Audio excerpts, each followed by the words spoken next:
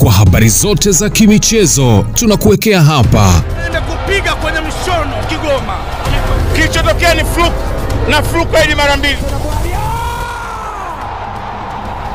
Usisahau kusubscribe na kubonyeza alama ya kengele. Wino Media, the sport center.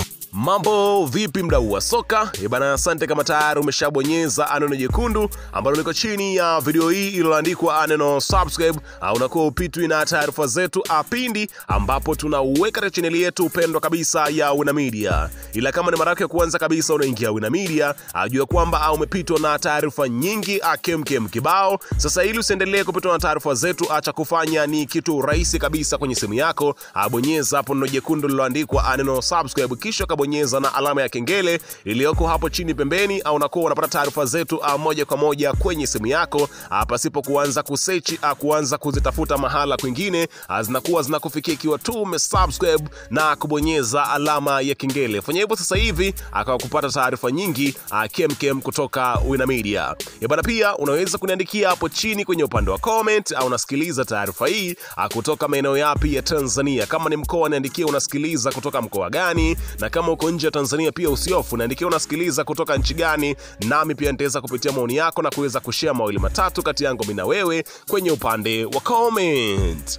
E bana, uh, unafahamu kuhusiana na ubora wa klabu ya Yanga. Hapo nazungumzia wale mabingwa uh, wa kihistoria mara 27 sasa hivi wanakuambia kwamba wanalitaka kombe la 28. Unafahamu kwamba Yanga uh, kweli ukiona nia ya wazi ambayo wako nayo ni kutoa kombe la ligi kuu Tanzania bara na makombe mengine ambayo bado wanashiriki, lakini kubwa zaidi ni nguvu ambao wamewekeza kwenye upande wa ligi kuu Tanzania bara. Mpaka sasa hivi Yanga hajapoteza mchezo wote kwa namna yoyote ile ya kufungwa ama kufanya jambo lolote, lakini ameweza kupata sare tu na mfululizo wa ushindi ambao unamweka kileleni mwa ligi kuu Tanzania bara kwa jumla ya pointi 43 akimwacha mpinzani wake jumla ya alama 11 ambaye ni Simba Sport Club anashika nafasi ya pili sasa hivi ah, pale kwenye msimamo wa ligi kuu Tanzania bara. Kwa hiyo Yanga a, mambo yako moto kweli kweli. Sasa unafahamu sasa hivi uh, kuna wachezaji wa timu pinzani ya, ya Yanga hapa nazungumzia Simba Sport Club ambao sasa hivi wanaelekea ukingoni kuweza kumaliza mikataba yao,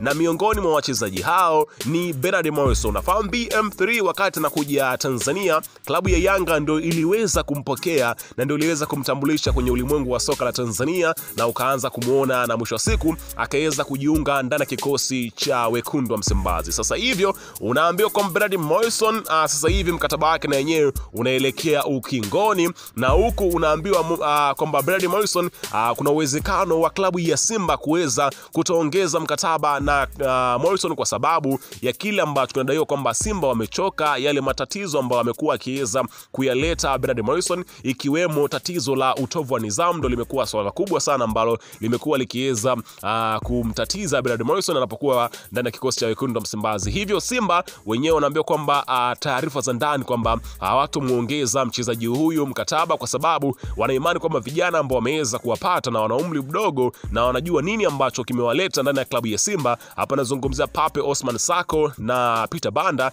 ndio maana umeweza kuona sasa hivi Brad Morrison hapewi kipaumbele hata kwenye mechi, amekuwa akiweza kuanzia uh, bench na vijana wadogo wakianza kwa kuupiga mwingi kweli kweli. Sasa bwana Haji Sunday Manara, hapa nazungumzia afisa habari wa zamani wa klabu ya Simba, lakini sasa hivi yupo Yanga na anaupiga mwingi kwelikweli, kweli, na hivi wanashinda, basi ndo anapata vingi vya kuweza kuzungumza. Basi bwana Haji Manara ameweza kufunguka aa, baada ya kusikia Bernard Morrison aa, kuweza kutangaza naye pia kuweza kuondoka ndani ya kikosi cha Simba huku akataka kumvutia upande wa pili. Unafahamu kwamba Haji Manara alikuwa na urafiki na wachezaji wengi wa Simba na mpaka sasa hivi wamekuwa bado wana ushikaji, hivyo Haji Manara ameweza kumtumia uh, ujumbe hapo, nazungumzia uh, bwana Bernard Morrison kuhusiana na kwa sababu mkataba wake unaelekea mwishoni, akamwambia na nukuu kile ambacho alichokisema Jibana, anasema kwamba njoo Yanga ule maisha, achana na huko utateseka sana. Unaona bana.